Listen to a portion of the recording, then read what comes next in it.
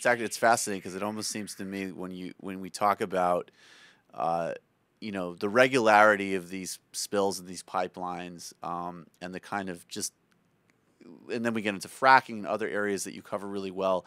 The public health and environmental consequences that are occurring on an almost daily basis across America, and then you kind of think of the parallel economy of people working at subsistent wages at places like Walmart or off of the books.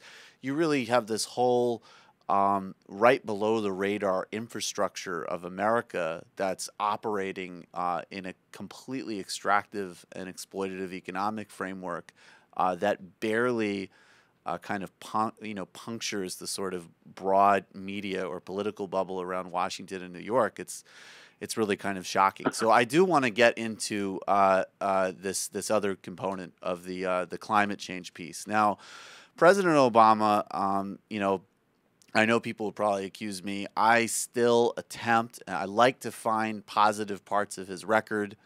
I watched this speech. Uh, I didn't quite understand what he was saying about Keystone, and I've heard people interpret what he said really positively, and I've heard other people interpret it really negatively. Which you know that seems very, that's highly Obama. You know, he's almost like, look, if I Mhm. wink on the third section of the speech, then that's an indication that I'm concerned about what you're saying, but I might contradict myself in the next paragraph. Um, sorry, that was a bit of an Obama impression there, but at any rate, uh, I want to get from you first. Uh, specifically your take on what he said on Keystone, because I do think that that sort of seems to be like the exemplary climate issue of the moment, uh, and then more Sure. broadly, what what are the pros and cons of what he's doing on climate, and what he's saying about doing on climate?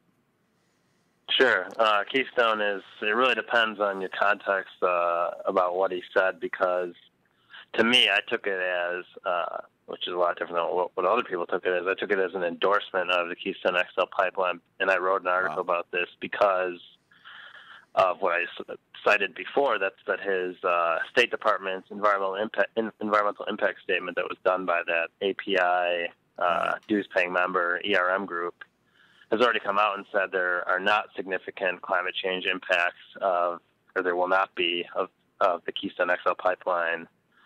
Uh, due to that, uh, in Obama's speech, he said that uh, he won't, the pipeline will not be in the national interest if there are uh, net carbon impacts. I think is what he said of the pipeline Yeah, take put two and two together, and to me that means under his State Department's, aka the API's uh, environmental impact statement for the Keystone XL, the pipeline will be approved unless uh, people come out and challenge that uh, study more, because that's an official governmental document that he will cite when he goes ahead with uh, either approving or not approving the pipeline. So for me, it was an approval. Um, unless this study can be delegitimized, it's game on for the Keystone XL pipeline's northern half. I mean, the, in the southern, I, I want to be clear, the southern half was already approved by the Right. Obama administration via a March 2012 executive order. So when we talk about the Keystone XL pipeline now, we're just talking about the northern half that goes uh, from Alberta and crosses the Canadian-U.S. border down to Cushing, Oklahoma, because the Cushing extension is already 80 over 80% built. yeah, and I think and President Obama actually campaigned uh, on, on construction sites uh, along uh, that route and bragged about it. So you know, Exactly, obviously yeah. that's important. Yeah, he made a campaign speech uh, Right. the day after that executive order was issued, and he did make it in front of, kind of embarrassingly, in my opinion, in front of the actual pipes that will consist of the southern extension of the pipeline uh, in Cushing, which is known uh, by the industry as the, the pipeline crossroads of the world.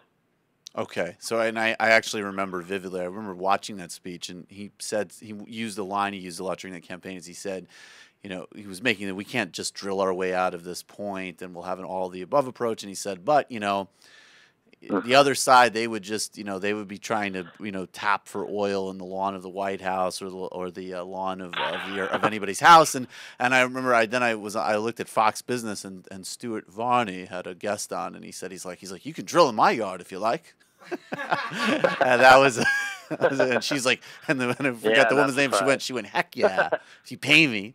So, but but that's and and that's a that's a, a a way of transitioning actually into the other part that I want you to highlight in Obama's Mhm. speech that is probably the other really salient and deep criticism, which is the even if you were watching it like me and that's great context on Keystone. I thought there was he said a lot of good things about the seriousness of climate, about pushing for renewables. But even in my less trained eye, I saw a huge uh, cheerleading for natural gas and fracking.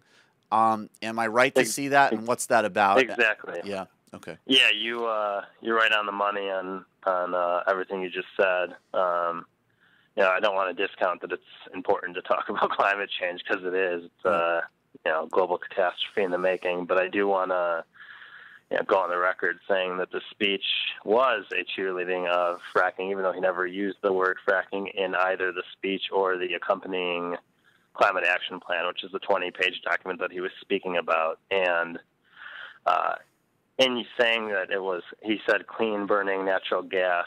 Uh, what he was doing in the climate plan itself was endorsing basically what he's already endorsed, uh, both in his first term and into uh, what he campaigned on, and that's an endorsement of every aspect of the shale gas market. That's you know, it starts with the frac sand itself, uh, where the sand is mined here, actually where I live in Wisconsin. Mm-hmm. That sand is used to do the fracking. Uh, so he endorsed fracking, even though he never used the term. But then he went above and beyond that in the climate action plan, and also uh, endorsed actually the, the T. Boone Pickens plan, uh, uh-huh. which is uh, tax credits for 18 wheelers, uh, natural gas vehicles, but you know mostly for big trucks. And then above and beyond that, he also endorsed uh, shale gas exports. Uh, you know, so, so creating an export market for the fracked gas here in the United States, uh, mostly in the Gulf Coast terminals, and then also endorsed in the Climate Action Plan uh, you know, one more important thing, and that's using the United States State Department as basically a missionary force to teach other countries how to do fracking, and that's through uh, what was created in this first term, the uh, Global Shale Gas Initiative. Which All right, you've convinced me, Steve. I'm sorry. Go, go ahead. Keep going. I'm sorry. Oh yeah.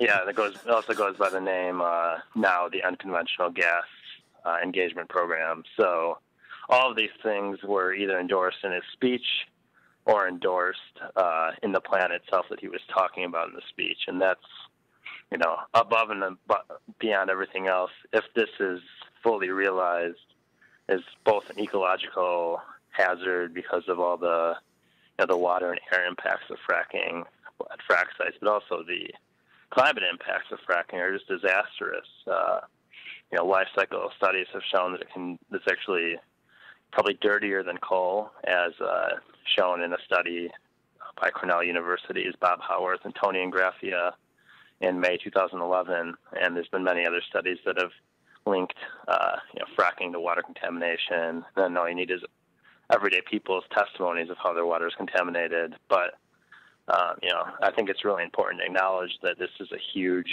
uh, problem in the climate action plan, and not something anyone who has any interest in uh, climate action being taken can can endorse, in my opinion. So I just want to really highlight that. That's fascinating because I've you know I'm very familiar with the debate on the ecological impacts of fracking and I'm you know I'm convinced I don't really have a doubt that that's bad for local water and ecology but there still seems to be this kind of uh, can, it, again there's there's less of a public debate about the notion that well you know natural gas is kind of you know the term bridge fuel is used a lot it's uh-huh. not as dirty uh-huh. as other conventional fuels. So, in again, in the same sort of pragmatic perspective, uh, we do need to sort of think about that in a climate context. And you're saying that, that that's almost analogous to talking about like clean coal. That's a scientific misnomer.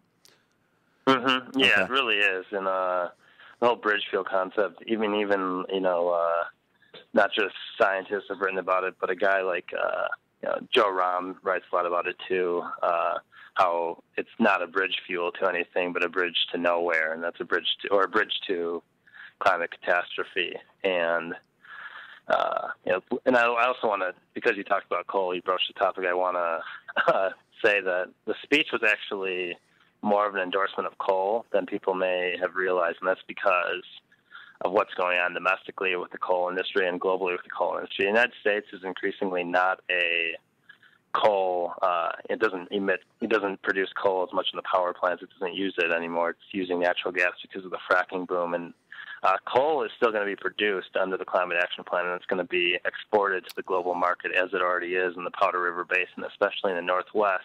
Right.